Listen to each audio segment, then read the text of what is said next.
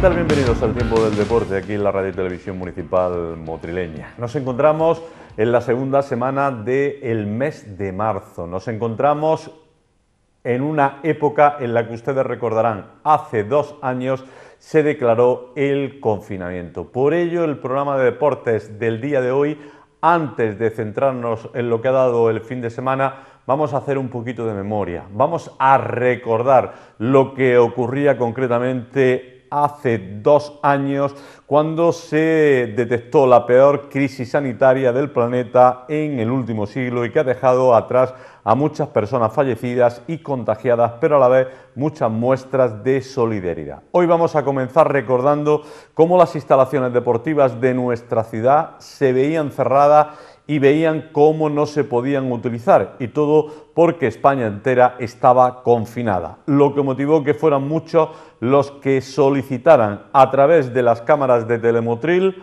que nos quedáramos en casa. Este fue el programa del 15 de marzo del 2020.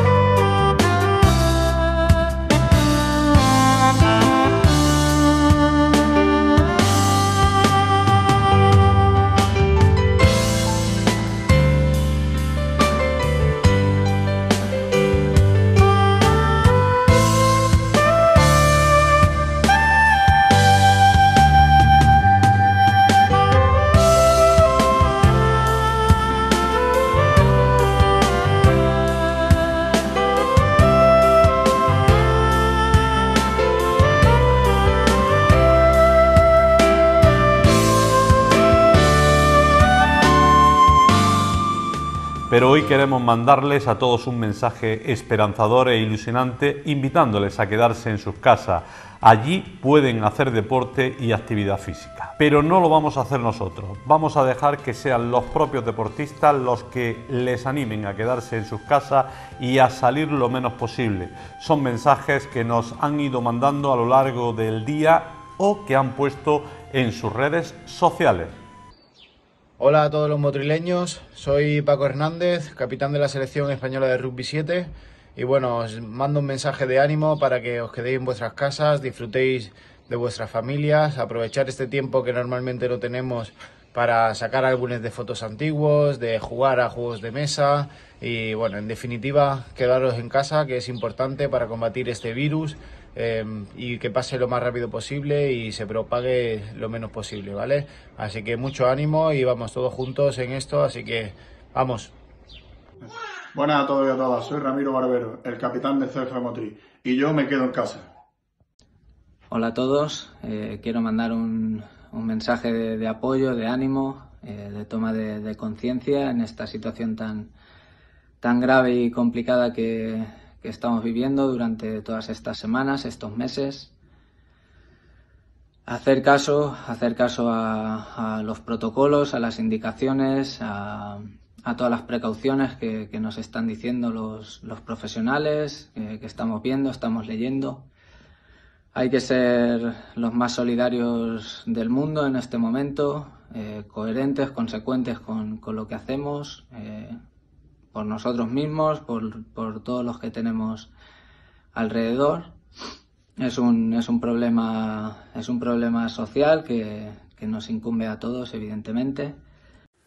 Hola, buenos días. Soy Juan Luis López Anaya y estoy aquí en casa, como deberíamos estar todos. Creo que es nuestra responsabilidad, creo que es algo que podemos hacer de manera sencilla. Así que todos los que podáis os pido que os quedéis en casa. Para aquellos que queráis hacer deporte, que queráis hacer ejercicio, en la página de Facebook de Atletismo Máster Español vamos a intentar subir distintos entrenamientos, distintos ejercicios. Se habla que una de las cosas más importantes es mantener el nivel de fuerza ahora mismo. Entonces, bueno, si queréis pasaros por allí, tenéis recomendaciones.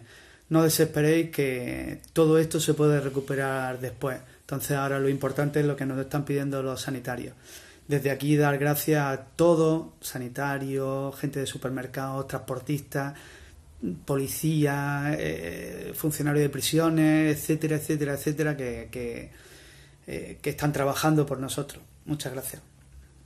Hola, buenos días. Soy Toñi Martos, de Motril, psicóloga del deporte, y me han pedido que os mande un mensaje para que nos quedemos en casa. Si me lo permití, me voy a extender un poquito en ese mensaje, eh, simplemente para dar algunas pautas y si os puedo ayudar en la manera de lo posible. ¿no? Eh, es una situación nueva, novedosa para todos, ¿vale? Es como cualquier situación nueva, eh, genera incertidumbre, genera dudas, genera rabia, genera cierta ansiedad, ¿vale? Como seres humanos tenemos esa capacidad de adaptarnos a las situaciones difíciles y diferentes el deportista lo, hace constantemente, lo hace cada día, lo hace en las competiciones, lo hace en el entrenamiento. Nosotros también podemos hacerlo, adaptarnos a estas situaciones, sacar lo mejor de la situación, el poder estar en familia, el poder estar acompañado, el sentirnos eh, que hay gente detrás que nos puede apoyar eh, y lo más importante, eh, trabajar en casa con nuestras fortalezas, en el día a día, en esa lucha eh, constante que tenemos fuera de casa, pues es la misma lucha, pero hoy dentro de casa, hoy, mañana, pasado y el tiempo que nos pidan que nos quedemos en casa. Eh, simplemente, eh, si me permitís una, una recomendación, ¿vale? Vamos a seguir soñando, pero vamos a hacerlo desde casa. Quedémonos en casa. Que tengáis un buen día, feliz lunes. Eh, hola, buenas, soy Lorenzo Hernández y bueno, todos me recordaréis con, con barba y bueno, ahora, ahora con estos días de, de reclusión pues he aprovechado para darle un respiro a la cara. Y nada, estoy aquí en casa en Motril y gracias a Dios hemos podido juntarnos toda la familia y entrenaremos como podamos aquí en casa, que si levantando a mi hermana, que si el sofá, que lo que, lo que podamos. Y bueno, sobre todo no salir de casa si no es necesario y, y mucha fuerza a todos. Venga, un abrazo. Hola, soy Antonio Gómez, entrenador de baloncesto. Me habéis pillado haciendo un poco de deporte en casa. Ahora es el momento, de más que nunca, de pensar en los demás. Nuestro equipo está fuera, fuera de nuestras casas, al que hay que cuidar. Así que, por favor, quedaros en casa, hacer deporte y pronto volveremos a encontrarnos en las canchas de baloncesto. Un abrazo. Hola a todos, soy Luis Rubiales, presidente de la Real Federación Española de Fútbol. Quiero mandar un mensaje de apoyo, de ánimo, de cariño a todos mis paisanos, a todos Motril. Yo estoy en Madrid, sabéis que la situación es muy difícil aquí, también en el resto de España, pero quizá aquí se esté notando un poco más que en otros lugares. Sobre todo, pues lo que quiero es contribuir a que todos estemos concienciados de que la salud está por encima de todo. Por eso quiero participar también en esta campaña eh, y deciros, quédate en casa. Pues solo nos queda decirles que tengan ustedes, sigan teniendo ustedes mucha precaución, que tengan mucho cuidado y que desafortunadamente la memoria pasa muy rápido y nos olvidamos de las cosas con mucha velocidad. Nos vamos a centrar ya sí en lo que ha dado de sí el fin de semana deportivo, que nos ha venido deparado sin duda por la alegría que el CF Motril volvió a ganar. Lo hizo en esta ocasión por 3 a 0. Un resultado frente al Alaurín de la Torre que hace que los motrileños consigan su tercera victoria consecutiva y que se coloquen terceros en la tabla clasificatoria. Tres goles que merecen ser enmarcados en la historia del CF Motril.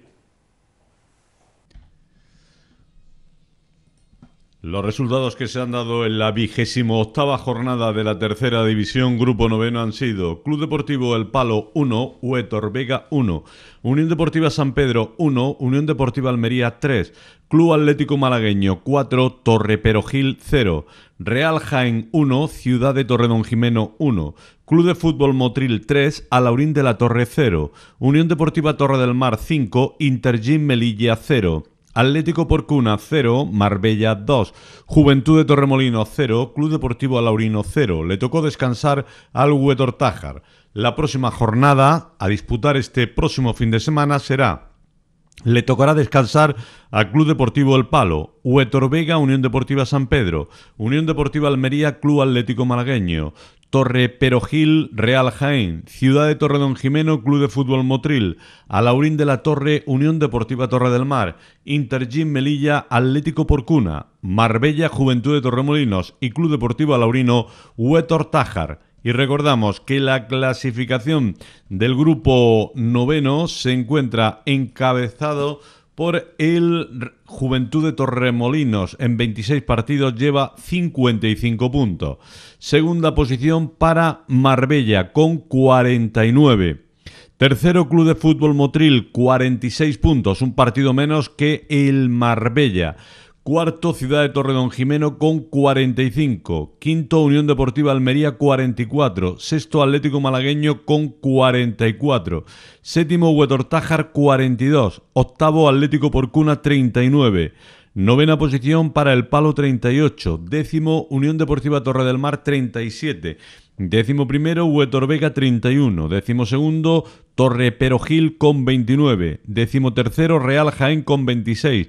Décimo cuarto, Unión Deportiva San Pedro 25. Décimo quinto, Alaurín de la Torre 24.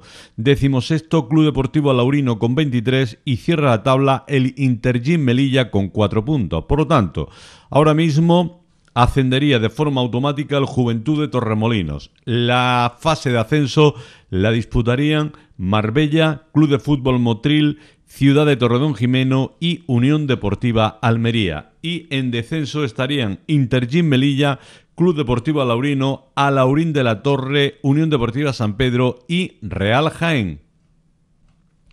Importante victoria la conseguida por el Motril en el partido disputado en el Estadio Municipal en el Escribano Castilla. Era el tercer encuentro de Vicente García en el banquillo blanqueazul y ha sido la tercera victoria de forma consecutiva conseguida por los blanqueazules. Un Vicente García que tenía que seguir el encuentro desde la grada por la sanción que vio en el partido frente al Marbella. El Motril se adelantó rápidamente en el marcador por mediación de Jordi a los 12 minutos al rematar de cabeza un centro desde la parte derecha de Miguelito tras una buena jugada de todo el equipo blanqueazul. Incluso pudo haber conseguido el segundo por mediación de Dani Cara a los 22 minutos en un lanzamiento que salió alto. En el minuto 37 se pidió un posible penalti sobre Jordi. Ya en la segunda parte, con claro dominio para el equipo blanqueazul, para el Motril Club de Fútbol, llegaría una jugada trenzada por parte derecha que culminó Jordi tras un perfecto taconazo de Goku. Era el 2-0 y el 3-0 llegaría en el minuto 90 por mediación de Carly al conseguir materializar una jugada individual en banda izquierda. Después de hacer varios amagos de tiro cruzado conseguía el definitivo 3-0. Un Motril que demostró una clara solvencia en este encuentro y que se encuentra en plena racha para afrontar próximos encuentros y la parte final de la temporada. Jordi consiguió dos goles y se mostraba muy contento. Menudo dos goles, aunque con el primero me lo quedo para mucho tiempo. sí, ha sido un centro lateral que he visto la bola ahí en el aire y digo, esta tengo que meterla sí o sí y me he tirado ya a muerte a entrar. ¿Hacían falta estos goles? Sí, pues claro que sí, hacen falta. cualquier gol nos viene perfecto ahora mismo, pero vamos, hoy, con un partido como el de hoy, 3-0, con, esa sensación de, tener el control del partido, de hacia adelante, de, sobre todo la portería cero nuestra, es un, punto de moral muy, muy bueno. No hemos tenido problemas durante todo el partido, ya apenas se han creado ocasiones, el partido ha sido prácticamente nuestro.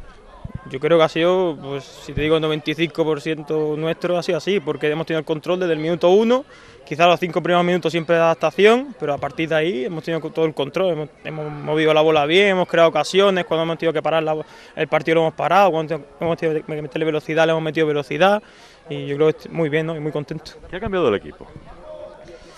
Quizás el ánimo de los jugadores, quizás eh, la gente cree que puede dar más de lo que antes creía y se, está viendo en el campo. Y tú muy bien, ¿no? Has vuelto de nuevo con muchas ganas. Yo, yo siempre tenía la misma ganas, yo siempre tenía la misma ganas, solo que ah, por circunstancias no, no, ha salido antes y ahora el míster me está dando mucha confianza y yo intento devolvérsela con, con mi máximo nivel y por suerte está, está siendo así. La máscara te está trayendo suerte. La máscara, sí, me están diciendo ahí Batman. sí, me está ya me la tengo que quitar dentro de poco porque ya estoy medianamente bien, pero bueno, quizás por la suerte vamos a seguir un poquito más con ella. Así, ah, si hace falta hasta final de temporada o en los playoffs. por supuesto que sí. ¿Cómo estás viendo el equipo? Pues muy bien. No sé cómo lo estaréis viendo vosotros desde fuera, pero yo en el campo veo el equipo metido, con ganas y con mucha hambre de, seguir hacia arriba. Próximo domingo vital frente al Torre Don Jimeno. Sí, sí, sería, si se sacan los tres puntos allí sería un punto anímico que, que nos llevaría para arriba sin parar. Es muy importante. Hoy por lo pronto hemos dado un paso más.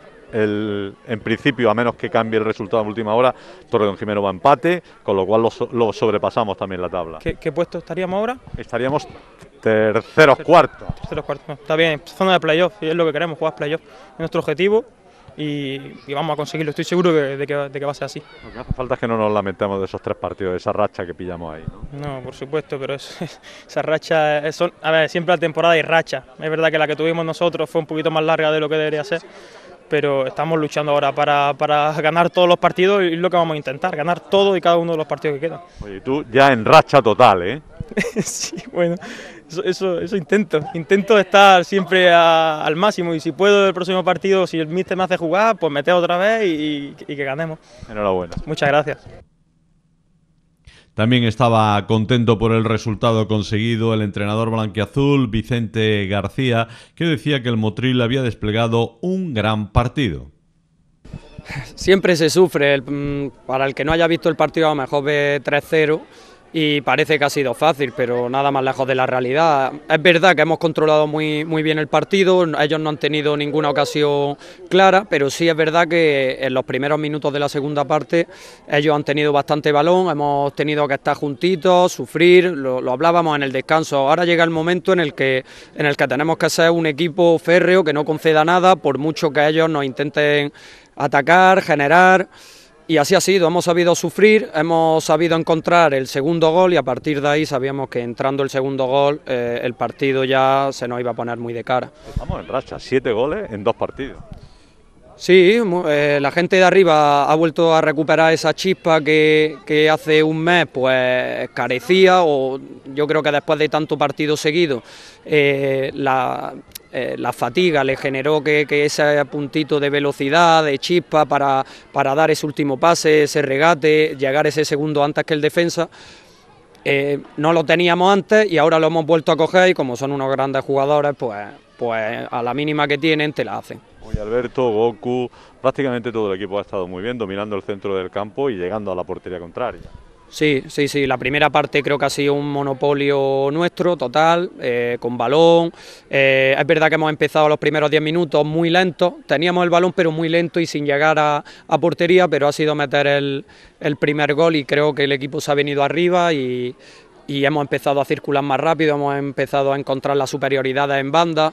Eh, creo que nos podríamos haber ido con alguno más en la primera parte, no ha sido así pero, pero bueno, eh, luego en la segunda hemos, hemos, una vez hecho el segundo gol, eh, hemos sabido ir a la contra, ellos ya estaban rotos, eh, el cambio de rol, ataque y defensa para ellos le costaba mucho el tema de, volver y, nuestros jugadores frescos de arriba, Bolívar, Carly, Cabello, con la velocidad que tienen y la calidad que tienen, pues han, han hecho el resto. Dos golazos, hemos abierto el marcador con un golazo de de Jordi y hemos cerrado con otro golazo de Carly. Yo creo que los tres han sido tres golazos, porque el primero ha sido muy buena jugada por Miguelito y Raúl. Miguelito hace un caño en banda, pone un muy buen balón, en plancha Jordi lo mete al palo. Este segundo, también otro golazo por banda derecha, que además Goku hace como tirar, le da de tacón y, y Jordi mete muy buen gol. Y luego Carly la individualidad de, que conocemos a Carly, que es capaz de hacer eso, y igual que Bolívar la ha tenido, no ha tenido esa suerte de meterla, pero son dos jugadores muy parecidos, que tienen una habilidad individual que en cualquier momento por sí solos te pueden hacer un gol. Lo positivo es que estamos en racha. Claro, sí, eh, lo positivo es que estamos llegando al final de temporada con buenas sensaciones, que era lo que buscábamos. Ahora hemos enganchado tres partidos seguidos, pero esto no para aquí, no vale de nada ahora ganar tres partidos y ahora llegar y no ganar los próximos dos o tres, o se puede empatar alguno, pero después volver a la victoria. Lo, hay que seguir. Ahora nos viene un partido muy difícil, que es Torredón Jimeno, y allí un, rival directo, un campo que no sé si alguien ha ganado allí, si ha ganado será un equipo como mucho. y, bueno, vamos a afrontarlo con todo, con, con la máxima confianza y, a ganar. Nosotros vamos a ganar donde haya, donde haya que ir. De cara a ese partido, Dani Cara, ¿qué tal está? Eh, he estado hablando con él, tiene tocado un poco el, tobillo seguro, eh, lo tiene un poco hinchado y la rodilla le molesta un poquitín, pero parece que es más de tobillo que de rodilla. Sería una buena señal que fuera más de tobillo que de rodilla, pues la rodilla siempre es un poquito más grave y sería más tiempo. Entonces, vamos a ver cómo se levanta mañana. Si hay que hacerle alguna prueba, esperemos que sea lo menos posible, porque Dani Cara también es un jugador fundamental para nosotros. Lo importante es que todos los jugadores están metidos y que tienen muchas ganas. Así es, eh, hoy hemos hecho ningún partido, estamos repitiendo 11, si, si, os fijáis. Entre el que entre lo hace bien, yo confío en todo. Hay gente que sale de, segunda y está cumpliendo, la gente que sale de primeras también y gente que se está quedando desconvocada y está entrenando espectacular. Me da mucha rabia tener que dejar gente en el banquillo y en la grada cuando están entrenando muy bien y, van todos a una. Entonces, eh, eso es buena señal. Si tanto el que juega como el que no está preparado para jugar, eh, eso nos va a hacer estar en la parte de arriba seguro. Es muy importante puntuar en campo del Torreón que Sí, sí, sí, totalmente. Nosotros vamos a ganar, que no ganamos un empate, pero pero vamos con la mentalidad clara. Va a ser un rival muy duro, creo que es un rival muy parecido a nosotros, que, que le gusta tener el balón, que propone un campo grande, buenas, buenas dimensiones y, buen césped artificial, que es de nueva generación. Eh, va a ser un partidazo, va a ser un partidazo que, bueno, a ver si nos llevamos, a ver si nos llevamos nosotros. Por cierto, segunda semana consecutiva con Álvaro en la portería y las dos con la puerta cero, la semana pasada incluso para un penalti. Sí, eh, paró penalti, está entrenando bien, está en, la línea que el resto de jugadores. La portería es, una similitud al resto de posiciones. Que ponga el que pongas te da garantía. Entonces eh, he decidido poner a Álvaro estos dos partidos. El próximo igual es Álvaro y igual es Jorge. Ellos están trabajando los dos muy muy bien, están metidos y eso es lo importante, que el que juegue lo haga bien. Enhorabuena. Gracias. Y seguimos con el fútbol. Vamos a defender varias categorías. Nos vamos a la primera división andaluza porque allí tuvimos un gran encuentro, el que se jugó en el campo del Varadero. Enfrentaba al puerto de Motril con el Cuyar Vega. Un partido muy importante para los motrileños que consiguieron una emocionante victoria frente a este equipo en un encuentro que tuvieron que remontar un resultado adverso de 0-2. Un 0-2 que hacía presagiar lo peor. Pero la reacción del equipo entrenado por Fran Maldonado le dio la vuelta al marcador y se consiguió esa victoria que sitúa al equipo en la zona media de la tabla clasificatoria. Así lo reconocía el entrenador Fran Maldonado. Sí, se ha sufrido mucho y sobre todo eh, a partir del segundo gol, que he mirado el reloj del crono y minuto tres y medio creo que sido. El segundo gol en el minuto 3 yo decía, pues veremos a ver hoy, veremos a ver si no, nos desarmamos y, y nos hacen una avería. Pero la verdad que el equipo se ha repuesto bien, hemos confiado en, lo que queremos hacer y mira, al final ha caído de nuestro lado. Son de las victorias que gustan y sobre todo para la gente, ¿no? Remontar un 2 prácticamente en los últimos minutos. Claro, ¿no? hemos remontado un 2-0, íbamos 2-0 y hemos remontado, nos hemos puesto 3-2. Sí, la... hoy el, equipo pues gana una dosis de, de, de, emotividad y, nada, tenemos que seguir así. Ahora la mala suerte es que la semana que viene con el Colomera descansamos y nos cortan un poco ahí, pero bueno, ya el próximo rival es la Saco, creo, que es aquí también, a, esperarlo. De todas formas, habéis dado un paso de gigantes para mantener la categoría.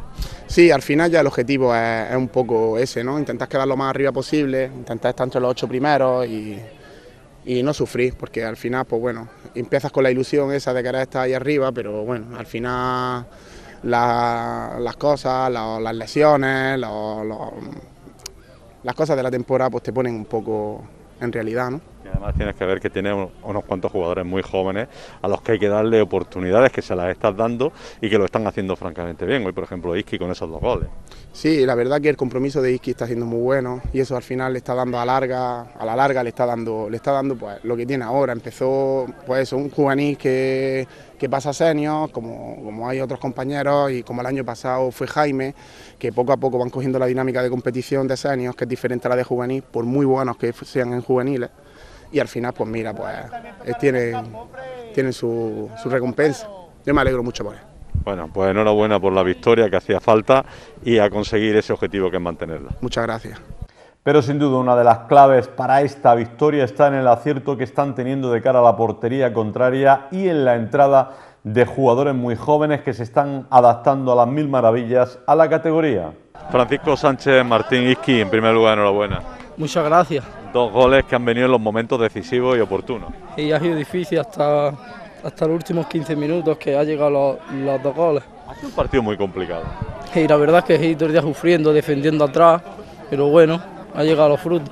Ha llegado el fruto además vosotros sabiendo esperar, porque habéis remontado un resultado adverso. Sí, hemos empezado ahí un poquillo más, íbamos a un ojero y hasta que la hemos sacojado. Sí, porque el partido hay que decirlo, era muy complicado ante un equipo de los que están arriba que durante todo el momento han demostrado por qué están arriba. Sí, es un equipo que está ahí, que está puesto para agendar, que seguramente juegue la liguilla y le hemos hecho daño. ¿Y vosotros qué tal? ¿Cómo va el año? Pues bueno, íbamos, íbamos antes mejor a cuatro puntillos de, de, la liguilla, pero ahora vamos un poquillo más, pero bueno, a tirar para arriba. Tú muy bien, ¿no? Para ser tu primer año senior hay que recordar que el año pasado estaba en el juvenil, era el máximo goleador del equipo, para ti te está yendo muy bien. Sí, la verdad es que sí, y espero que sigamos ahí. ¿Era lo que esperaba? Sí, a lo mejor esperaba algo mejor, pero bueno, esto es lo que hay. Y hoy dos goles. Cuéntanos cómo han sido. Pues un agio de cabeza de un, de un central al segundo palo y el otro una jugada que me lo han puesto atrás y he rematado. Ha sido sobre todo el decisivo, ¿no? Ese, ese 3-2. Sí, el decisivo ahí. ¿Estás contento? Sí, sí, mucho. Bueno, enhorabuena. muchas gracias, Dios. Francis Domínguez, pese a todo, decía que quedan unas cuantas jornadas más para consolidar la categoría y más teniendo en cuenta que al equipo aún le quedan dos jornadas por descansar. Sí, además que nos jugamos bastante porque tenemos que ir sumando tres en tres para estar la última jornada de la liga lo más tranquilo posible porque todavía nos queda que descansar dos veces. la última jornada de liga, la semana que viene con el equipo retirado del Colomera y era importantísimo el, el puntuar hoy. Y más ante un rival que, que, al principio de temporada se presumía que iba a estar entre dentro de los cuatro primeros, ¿no? que iban a estar peleando por, ascender a, División de Honor. La verdad que el partido hoy puede ser un partido, yo creo que superior categoría, partido de, mucho ritmo, mucho choque, la verdad que fútbol, bueno, quizás había un poquitín menos, pero muchísima intensidad en todas las acciones y más como se ha visto el partido, después de ir perdiendo el remontar y al final ganar 3-2, la verdad que es una alegría muy importante. Es unos partidos que gustan porque remonta el encuentro con dos goles que han sido muy bonitos. Sí, empiezas perdiendo 0-1, empatas 1-1 te pones 1-2, te pones con el 2-2 y luego el 3-2 y luego los goles de muy bella factura, ¿no? Los últimos dos goles han sido muy bonitos. Yo creo que debo de destacar hoy a, a Campoy, que creo que ha hecho una segunda parte muy muy buena de las botas de han salido los dos goles y yo creo que, ha sido muy importante. Y luego el Iski hoy ha visto la fortuna de tener de hacer gol ¿no? y que se lo estaba buscando durante toda la temporada y la verdad que me alegro para ellos dos. Es importante que chavales jóvenes que salen de juveniles tengan esas oportunidades. Sí, yo creo que se lo digo a ellos, creo que están en el club perfecto, creo que el entrenador que tenemos es de superior categoría, creo que Fran está haciendo un trabajo grandísimo, junto con Robert, creo que es un tande muy importante para que esto siga hacia adelante y creo que están en el club ideal. ¿no? Nosotros tenemos muchas ganas de, subir, tenemos muchísima ambición, queremos llegar a categorías más altas y creo que si los jóvenes apuestan por nosotros y creo que con el tándem que tenemos en en la banda yo creo que, es la ecuación perfecta como para seguir escalando posiciones. Diga lo que tú digas, yo creo que hoy se ha dado un paso de gigante por mantener la categoría. Sí, lo que pasa que es lo que te digo, ¿no? Eh, esta primera andaluza está condenada porque siempre con el arrastre que tenemos de, de división de honor, nunca sabemos los equipos que van a descender. En un principio descienden ahora mismo con los equipos que hay en la clasificación, los dos últimos, yo creo que va a haber un arrastre de dos más. Por lo tanto, nosotros si estamos dentro de los diez primeros, creo que tenemos bastante posibilidades de mantener un año más la categoría y por lo que estamos luchando, ¿no? Quedando dentro de los ocho primeros, tenemos eh, la posibilidad de jugar Copa de Rey el año que viene, ¿no? Que eso para nosotros sería un logro muy importante. Sí, este año habéis quedado ahí en puerta, ¿eh? Sí, hemos, se quedó entre los ocho primeros, hemos estado y justamente contra el Cuya fue el que perdimos en semifinales pero ahora ya el, formato cambia un poco y ya nos da opción a poder jugarla desde el principio. Creo que es un aliciente más para quedar dentro de los ocho primeros. Los otros dos equipos de la comarca no consiguieron buenos resultados. El Cultural Asaco perdió 1-0 con el Salar y se complica la permanencia. Estos son los resultados de la última jornada del campeonato. Los resultados que se han dado en la Primera División Andaluza, jornada vigésimo sexta han sido Churriana de la Vega 2, Vandalia de Peligros 0, Medina Lausa 1, Alfacar 0. Le ha tocado descansar al Purullena, Salar 1, Cultural a Saco de Motril 0, Cubillas 3, Colomera 2, Puerto de Motril 3, Cuyar Vega 2. Descansó también el Cubillas, Santa Fe 4, Guadix 2, Atlético La Zubia 1, Atletismo Padul 1 y Alendín 3, Almuñécar City 1. La próxima jornada será Almuñécar City Churriana, Vandalia de Peligros Medina Lausa. Le tocará descansar al Alfacar, Purullena Salar, Cultural a Saco de Motril Cubillas, partido importante para el equipo motrileño. También descansará el puerto de Motril al jugar frente al Club Deportivo Colomera. Cuyar Vega Santa Fe, Guadix Atlético La Zubia, Atletismo Padul Al Alendín. Y recordamos que la clasificación en este grupo se encuentra encabezada por el Churriana de la Vega con 53 puntos. Segundo, Almuñécar City con 50. Tercero, Guadix 49. Cuarto, Cuyar Vega 43. Quinta posición para Lendit con 35, Vandalia de Peligros 34, séptimo Salar 33, octavo Puerto de Motril 33, noveno Medina Lausa 28, décimo Atletismo Padul 27, décimo primero Santa Fe con 26, atención porque a partir de aquí es zona peligrosa, décimo segundo Purullena con 24, décimo tercero Cultural Asaco con 23, Decimocuarto Cubillas con 21 y en zona de descenso Atlético La Zubia con 19, Alfacar con 17 y ya descendido el Club Deportivo Colomera que se ha retirado. Por lo tanto, ahora mismo descenderían Colomera, Alfacar y La Zubia y dependiendo de los arrastres que haya en la categoría, también podría hacerlo el Cubillas y el Cultural a saco de Motril.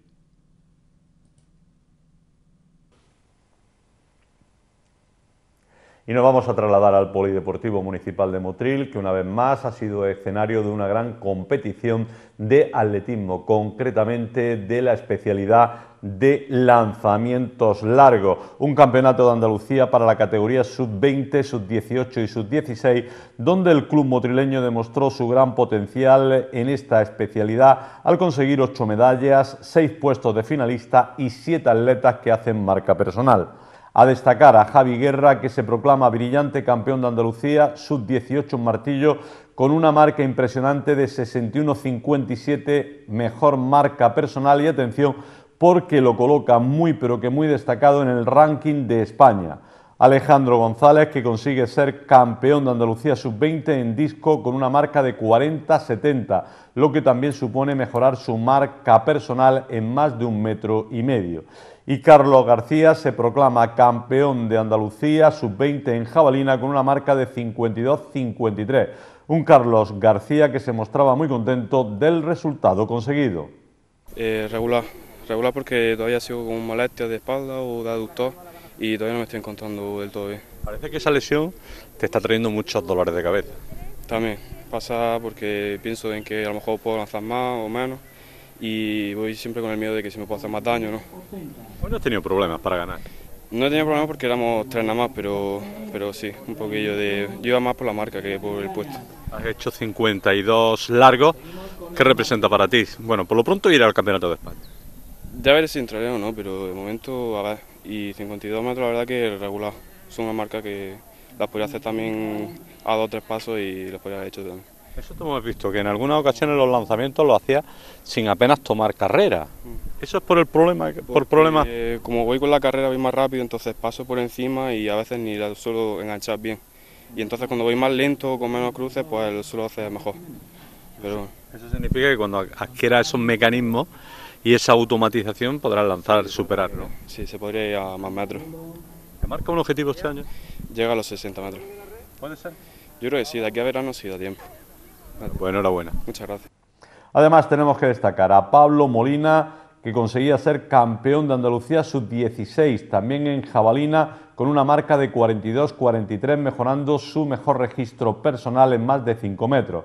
Andrés Pérez lograba la medalla de plata en jabalina sub-18 con 49-39, mejorando también su marca personal en más de 3 metros. Andrea Vázquez lograba la plata en sub-20 en lanzamiento de disco con una marca de 35-78. Rafael García era bronce en sub-18 en jabalina con 47-73, también marca personal. Y Hugo Domínguez conseguía la medalla de bronce sub-16 en jabalina con una marca de 37-21, mejorando también su mejor registro. Destacar además seis puestos finalistas, Jorge Ramírez, cuarto en disco, María Coín, cuarta en jabalina, Marta Marina Portillo, cuarta en jabalina, Macarena García, quinta en martillo, Elena Coín, sexta en martillo, Ana María Budescu, octava en disco, unos resultados que valora de forma muy positiva el presidente del club motrileño, José María Hernández Páez. Bueno, ya como hemos repetido innumerables veces, aquí son las circunstancias. Por un lado tenemos el apoyo institucional, el apoyo de, tanto del área como del ayuntamiento y la instalación se presta, pues, se puede lanzar. El prácticamente tenemos, podemos lanzar todos los días y luego independientemente de nuestras actividades directamente del club, de nuestro entrenamiento diario, pues se presta este tipo de eventos, que no hay problema porque no se juega al fútbol. Entonces, aunque se mantiene, eh, por parte del ayuntamiento se mantiene en muy buenas condiciones, pero la instalación es ideal para este tipo de, eventos. Hoy aquí los mejores de Andalucía con vista al Campeonato de España. Bueno, sí, el Campeonato de España este año se ha retrasado, eh, de hecho las planificaciones están... Hemos tenido que trastocarlas porque terminamos en abril, la, la primera semana de abril, después hacemos un parón y ya preparamos el aire libre. Entonces, el Campeonato de España de estas categorías, de sus 16, sus 18 y sus 20, se celebra en Castellón el día 2 y 3 de abril. Y digamos, esta es la, antesala. De hecho, ahora hemos estado hablando también con el, que ahora se lo comentaré también con el concejal, eh, nos han planteado hacer un control extraordinario la semana antes para que esos atletas que están en el límite aún más podamos facilitar eh, la consecución de esas marcas mínimas para ir a ese campeonato de España. ¿Qué haría falta? ¿Cuánto, ¿De qué distancia crees tú? Pues nos quedan tres semanas. Eh, tres semanas de, para que los chavales puedan hacer. Pero claro, en una mm, descoordinación, por qué no decirlo, pues no hay controles. O sea, lo que no se haga hoy ya no se puede hacer. Entonces, por eso vamos a ver cómo terminamos hoy, cómo termina no nuestro club, sino a nivel andaluz. Y si se valora que hay muchos que están en el límite, pues preparamos un control extraordinario. Porque ya de, por sí mm, la modalidad de lanzamiento es siempre es penosa un poco, ¿no? Es más. Entonces, todo lo que nuestra intención, por nuestra parte y por parte de la federación, es dar máximas facilidades para intentar seguir potenciándola, ¿no? Porque ya de por sí cuesta trabajo sacar lanzadores y más si no hay medios, peor todo. Estamos demostrando, me refiero al Club del Sur, que es una de las potencias. Y hay que decirlo, Club del Sur Cooperativa La Palma. sí. Bueno, sí, ya, ya tú fuiste quizá el primero al que se lo desprendimos, ahora estamos pendientes de que se haga, se presente de manera oficial. Y bueno, ya no es solo la cooperativa La Palma, ya como te digo, son las instituciones, la, institución incluso a nivel provincial, la, Diputación nos cedió, le cedió al Ayuntamiento la colchoneta de la colchoneta de, Pértiga de, de, alta competición, que, porque la otra que teníamos era de iniciación. Entonces todo va perfilado a que bueno que este año subamos a primera división, y, pueda ser motriz sede de eventos de, competiciones de primera división, que son dos, tres competiciones al año, lo cual seguiríamos dando pasos de, consolidación, que ya estamos consolidados, pero bueno, de, reafirmación, por decirlo de alguna manera. Ese es el objetivo para este año, ¿no? El ascenso a primera división y consolidar definitivamente este deporte. Sí, bueno, consolidado ya tenemos, yo que te voy a contar a ti, tú eres uno de los principales promotores a nivel de noticias, pero nosotros llevamos ya treinta y tantos años y digamos que este sería un, cambio de, un escalón, un escalón a partir del cual eh, iremos, ya garantiza que otros atletas de otros clubes o sea, en vez de lo que siempre hemos padecido nosotros, que de otros, pues no que tengan que cambiar, sino que otros clubes se, adhieran al proyecto del sur y puedan seguir manteniendo sus núcleos de entrenamiento, pero eh, participar de un proyecto común, con distintos eh, eh, equipos en distintas categorías, ¿no? Porque este año tenemos aspiraciones a, campeonatos nacionales de, de sub-20, equipos sub-20, equipos sub-16 y el absoluto, por supuesto. El sub-20 ya de por sí el año pasado quedamos quintos de España en una única categoría, con lo cual, ya te digo, es, ir dando paso y, reforzando los cimientos que ya, ya tenemos durante tantos años. Una competición que ha rayado a gran altura, según apunta el concejal de deportes Daniel Ortega. Pues sí, la verdad que hoy vamos a disfrutar de, una jornada de atletismo otra vez, en especial de lanzamiento. Y la verdad que muy contento por primero cómo está la instalación, que está genial, y, sobre todo por los resultados que, que, estamos recibiendo de nuestros atletas, que es verdad que son bastantes los atletas motrileños y del Club del Sur que, están hoy, hoy compitiendo. hoy tenemos las categorías sub-18 y sub-20 y mañana tendremos la, categoría sub-16. La verdad que el tiempo, fíjate, ayer el día que hacía y mira hoy cómo, cómo nos responde y bueno, pues creo que mañana da un pelín de peor tiempo, pero yo creo que, que por la mañana nos va a respetar la jornada para que se celebre este Campeonato Andalucía de tanto de sub-18, sub-20 y sub-16 se celebre en la perfección. Y la instalación que invita a la participación, es que gusta estar participando. Sí, la verdad que, bueno, al final tenemos una instalación bastante, bastante potente, digamos, en el sentido de que a nivel lanzamiento y bueno y prácticamente para todas las, disciplinas eh, del atletismo y por tanto eh, ojalá podamos hacer pruebas de este de este tipo y de este nivel porque al fin y al cabo nos, Motril pues, nos pone en el centro de, hoy del atletismo a nivel de lanzamiento y esperemos que, pronto podamos tener también otras pruebas que no sean solo lanzamientos sino pues pruebas de, del atletismo en, en sí. ¿Tiene Motril un tope en el apartado de lanzamiento? Bueno, realmente pienso que no, realmente ahora mismo estamos trabajando bastante fuerte porque José María es verdad que pues, es una apasionado del lanzamiento, a mí también es verdad que me, gustan porque todo sobre todo toda la parte que viene detrás de, un lanzador, que el trabajo que tienen que hacer eh, es de los mis preferidos a nivel del atletismo.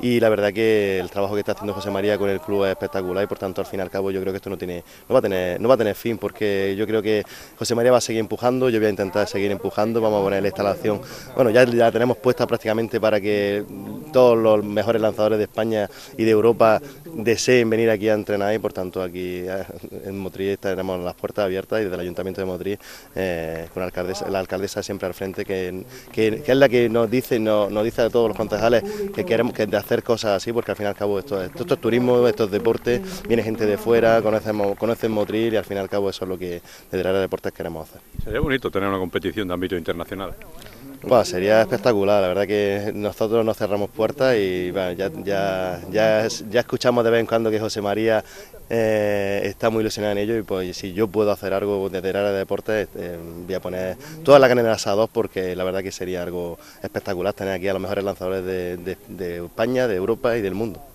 Tomás Fernández, responsable de lanzamientos de toda Andalucía. En primer lugar, bienvenido de nuevo a Mutril. Muy bien, muchas gracias. Encantado de estar aquí otra vez con ustedes. ¿Qué tal la jornada? Bien, bien. Hemos empezado a las 11 con el martillo de mujeres y la jabalina de hombres y ahora seguiremos con todos los lanzamientos que nos quedan. Hoy nos toca la categoría sub-18 y sub-20 y mañana vienen los sub-16 a realizar también su jornada de lanzamiento. De los que están participando, ¿cuántos crees que van a estar en ese campeonato de España que es el objetivo para ellos? Pues no se puede concretar con certeza porque estos campeonatos ahora ser por ranking hasta última hora no podemos decir pues este va a ir seguro o no porque es un campeonato donde no tiene mínima y hay un cupo reducido de atletas por, competición que si no ha cambiado la norma son ocho. Se supone que los campeones sí van a estar, ¿no? ¿Conseguirán esa mínima o no? Hombre, como te he dicho, mínima no hay porque es por ranking, pero normalmente los que queden primero si tienen muchas opciones de acudir al campeonato. ¿Cómo está ahora mismo el lanzamiento en Andalucía? Bueno, pues sinceramente hemos bajado un poquito el nivel, pero es que esto solo va por racha, esto no siempre se puede estar en la Champions, hay, veces que hay que estar en, en la Europa League, asimilándolo al fútbol, pero bueno, por abajo se va vislumbrando cosillas porque hay núcleos de entrenamiento en muchos sitios que están fomentando los lanzamientos, tanto Motril, en Mija, en Villamanrique, en Pueblo de Sevilla, en Málaga un poco. Y es luchar, luchar, porque los lanzamientos no son muy fáciles de entrenar. ¿Por qué Motril está siendo últimamente ese punto de referencia para los lanzamientos, ya no solo de Andalucía, sino incluso a nivel nacional? Pues porque es una instalación de atletismo que piensa que los lanzamientos son parte real del atletismo, no solo están ahí porque sí. Entonces, una pista que fomente los lanzamientos siempre va a tener eh, la ayuda de todo el mundo, de todo el mundo, toca a nivel nacional, andaluz, autonómico. ¿Por qué? Porque es una pista de atletismo y los lanzamientos son parte del atletismo y ellos están dándole fuerza a ese sector y por eso tanto la Federación Andaluza como la Federación Española normalmente pues hace aquí actividades. ¿Ha sido la hermanita pobre de la especialidad pobre del atletismo, los lanzamientos? Sí, sí, sí, sin duda. Igual que antiguamente también era la marcha, pero cuando empiezan a salir buenos resultados, ahora parece que la marcha somos los mejores del mundo. Somos de los mejores del mundo, pero también éramos buenos antes. Lo que pasa es que hasta que no empiezan a salir resultados de verdad, pues la gente no piensa, pero cuando han empezado tanto Javier Cienfuego, Alberto Moyano, Borja, Tobalina, eh, los chicos ahora de Jabalina, tanto los hermanos Quijera como Dey, que hizo el récord de España, tío de tres personas por encima de 80 metros, pues esos eran buenos antes pero hasta que no han refrendado la marca, pues parecía que no existían. Pero pasa dentro del sector siempre hemos, sabido que eran buenos. Es un atractivo tener esos referentes a los cuales fijarse, sobre todo para los más pequeños. Sí, sí, siempre es bueno tener un referente en, eh, las categorías mayores para que los chavales puedan fijarse en ellos. Aquí en Andalucía pues, hemos tenido la suerte de tener a Borja en el peso muchos años, ahora tenemos a Alberto Moyano, que es un chaval extraordinario, ahora pasa que está recuperándose de una lesión, pero este año, si no este año, el que viene va a dar otra vez guerra y mucha, lo digo aquí delante de todos, acordaros de Alberto Moyano y de su entrenador Kini Moyano, ¿eh? Al loro, bueno, he dicho Alberto Moyano, pero es Alberto González Moyano, es que como son tantas familias Moyano en Jaén, pero Alberto González Moyano y su entrenador Kini Moyano van a dar guerra y mucha. Y luego también por Lorenzo aquí en el pueblo, pues da mucha vidilla tanto a toda la escuela y eso es muy importante. Y también tener entrenadores que les guste la especialidad, porque si no tiene entrenadores que les guste la especialidad, tampoco habrá lanzadores. El club ciclista motrileño dio por iniciada su temporada 2022, una temporada en la que tiene programada muchas, pero que muchas actividades, y lo hizo como viene siendo habitual en un acto ya tradicional como es la ofrenda floral que hacen a la patrona de nuestra ciudad, la Virgen de la Cabeza, y de su, su, foto de inicio de temporada en la que participaron la mayoría de los integrantes de este club.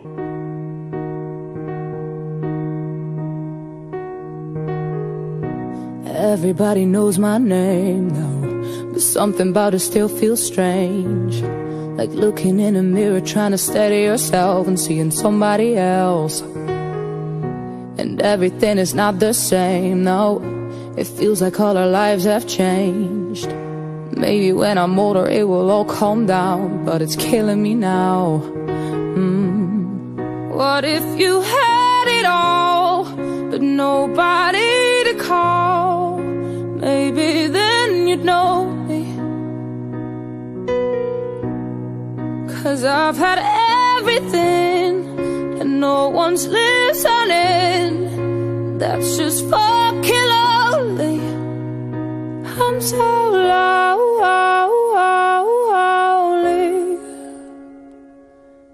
lonely.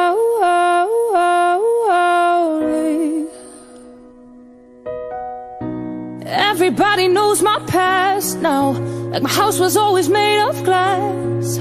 And maybe that's the price you pay for the money and fame at an early age. And everybody saw me sick and it felt like no one gave a shit. They criticized the things I did as an idiot kid. Oh, what if you had it all But nobody to call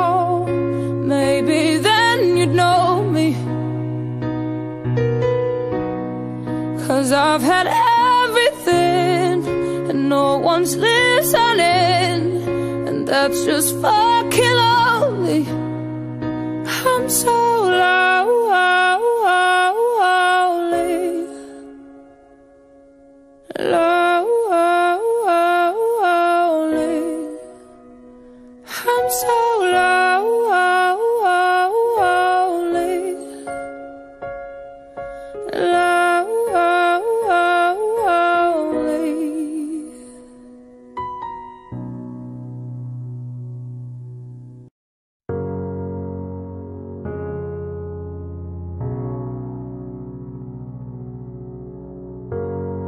could leave the Christmas lights up till January. This is our place, we make the rules. And There's a dazzling haze, a mysterious way about you, dear. Have I known you 20 seconds or 20 years? Can I go where you go?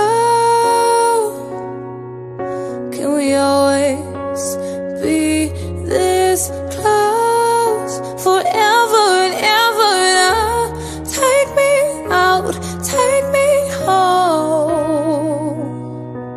You're my, my, my, my.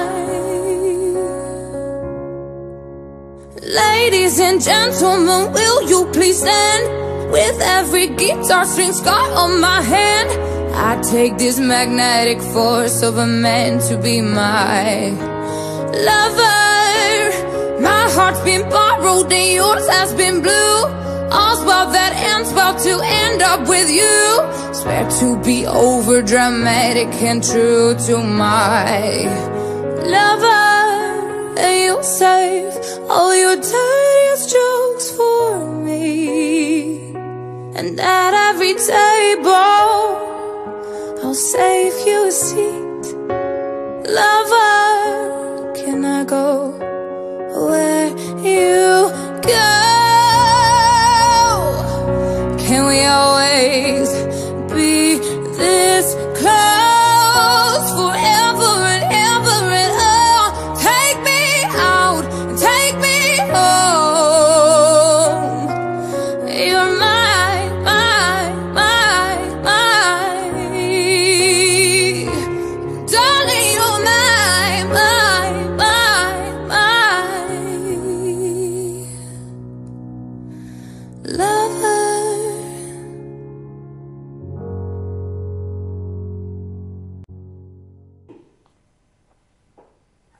Hoy desafortunadamente nos vamos a despedir con una persona que nos ha dejado recientemente, uno de los mejores deportistas y futbolistas que ha dado nuestra ciudad. Estamos hablando de Antonio Domínguez Caparrós, Villalta, que jugó entre otros equipos en el Granada Club de Fútbol, Cádiz y que fue capitán del Club Deportivo Motril durante muchos años.